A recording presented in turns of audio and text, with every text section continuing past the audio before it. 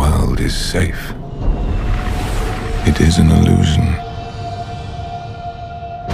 A comforting lie told to protect you. Enjoy these final moments of peace. For I have returned to have my